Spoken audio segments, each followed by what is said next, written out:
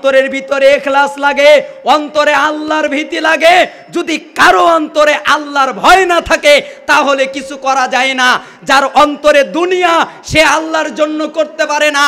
যার অন্তরে দুনিয়ার কেন্দ্র, সে আল্লাহর জন্য করতে পারে না। যে বলে, মানুষেরা কি বলবে? যে বলবে, সাধারণ লোকেরা কি বলবে? যে বলবে, এই দেশের সাথে মিলতে হবে। ওই রকম ভাবে কিছু তৈরি করা যায় না।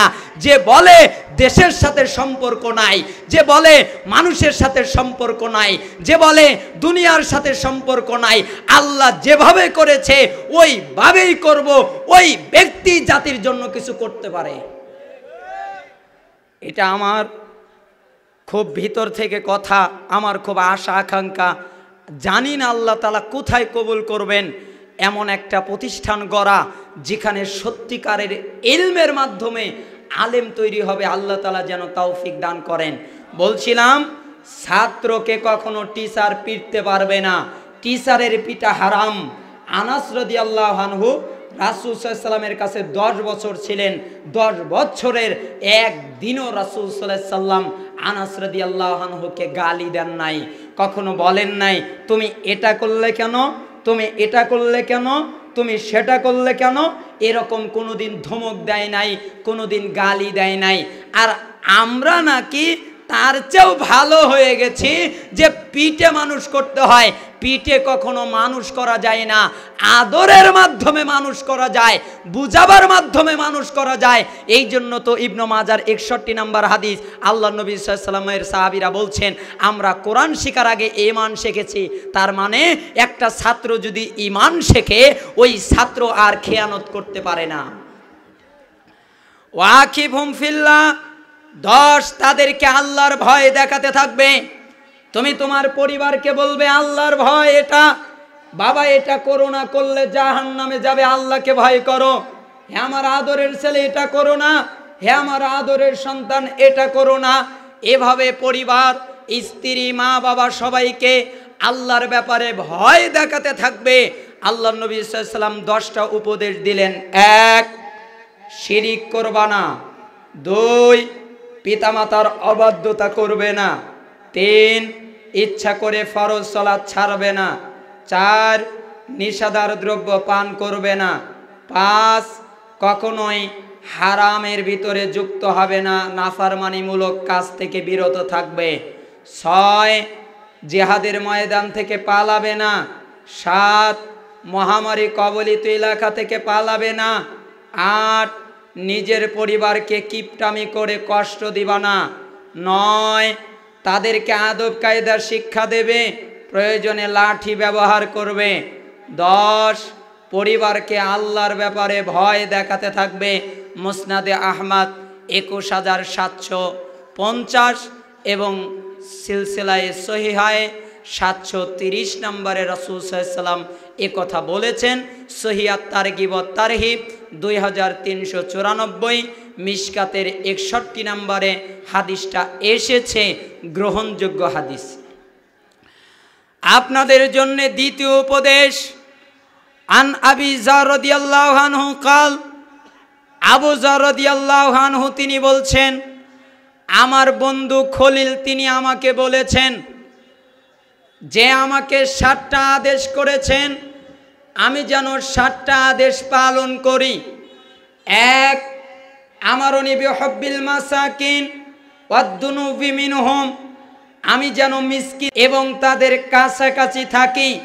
যাদের খাদ্য নাই, যাদের খাবার নাই, যাদের পোশাক নাই, আমি যেন তাদের কাছাকাছি থাকি, তাদেরকে ভালোবাসি।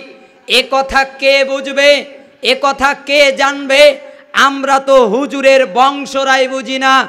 আল্লাহর নবী সাল্লামের খাবার ছিল, খাদ্য ছিল এরপরেও পেট পুরে কোনো দিন খান নাই।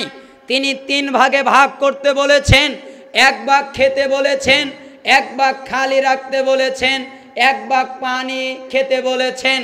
আমরা তিন ভাগই পূরণ করি, যে ভাগ খেতে হয় ও ভাগও খাই, যে ভাগ খালি রাখতে হয় ও ভাগও খাই, যে ভাগ পানি খেতে হয় ও ভাগও খাই। শুধুমাত্র খাওয়ার ক্ষেত্রে সুন্নাত ফলো হয় না। আমরা কীভাবে বুঝব যে একটা ক্ষুধার্তের যন্ত্রণা কি? আমরা কীভাবে বুঝব একটা ক্ষুধার্তের কি যন্ত্রণা? এটা আমাদের বুঝে আসবে না, কারণ আমরা তো খেতে খেতে গলাপন্ত খাই। কি ভুল বললাম? কারা খায়? আমরা খাই। খাবার দেখলে আর হুশ থাকে না। খেতে খেতে গলা পর্যন্ত খেতে হয়। কোন দিন পেটে ক্ষুধা থাকল, কোন দিন পেটে ক্ষুধা রেখে খেলাম? যে যারা না খেয়ে রয়েছে, যাদের খাদ্য নেই, তাদের কষ্ট কেমনে বুঝব? এজন্য রাসুসাল্লাম বলেছেন, আমি যেন মিসকিনদের ভালোবাসি এবং তাদের কাছাকাছি থাকি, মিসকিনদের থেকে যেন দূরে না যায় ও আমারনি আনলা আংজুরাইলা মানুয়া দুনি ওয়ালা আংজুরাইলা মানুয়া ফাউকি। দুই আমি যেন আমার থেকে নিচের দিকে দৃষ্টিপাত করি, আমি যেন আমার দিকে উপরে না তাকাই, নিচের দিকে তাকাই। কারণ আমি যদি উপরে তাকাই, আল্লাহর শুক্রিয়া আদায় করতে পারব না, আল্লাহর প্রশংসা আদায় করতে পারব না এই জন্য আমি যেন আমার থেকে নিচের দিকে তাকাই, উপরের দিকে তাকালে আমি বলব, এর দশতলা বিল্ডিং আমার যদি হইতো তাহলে আমি আল্লাহর শুক্রিয়া আদায় করতে পারব না। আর আমি যদি নিচের দিকে তাকাই, তাহলে বলব, এই লোকটার বাড়ি নাই আমার আছে, এই লোকটার থাকার জায়গা নাই আমার আছে, তাহলে আমি শুক্রিয়া আদায় করতে পারব। অতএব আমি যেন আমার থেকে নিচের দিকে তাকাই। প্রশ্ন হচ্ছে, হাদিস বর্ণনা করছেন আবুজর তিনি কি এমন ছিলেন? জি, তিনি এমন ছিলেন।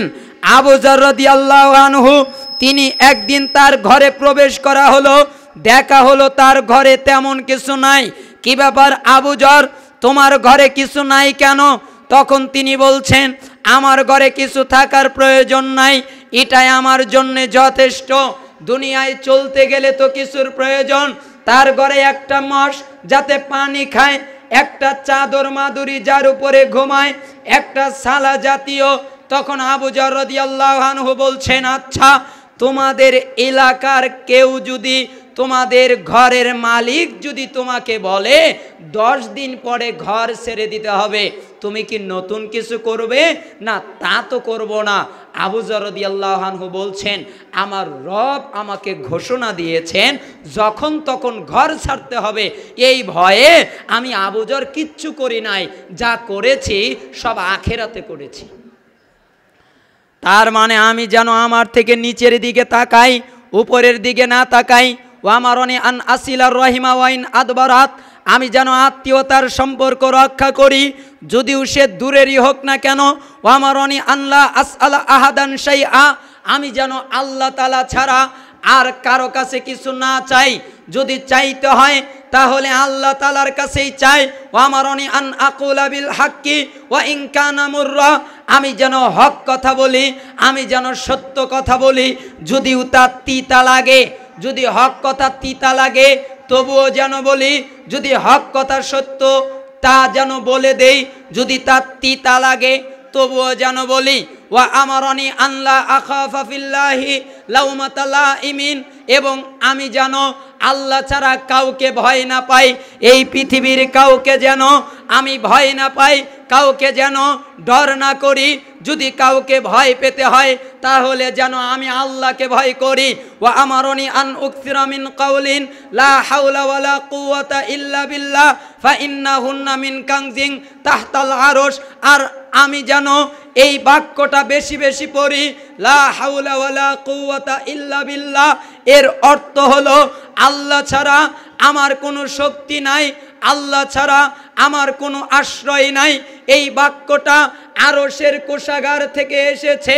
এই বাক্যটা জান্নাতের গুপ্তধন। আমি যেন এই বাক্যটা বেশি বেশি করে পড়ি।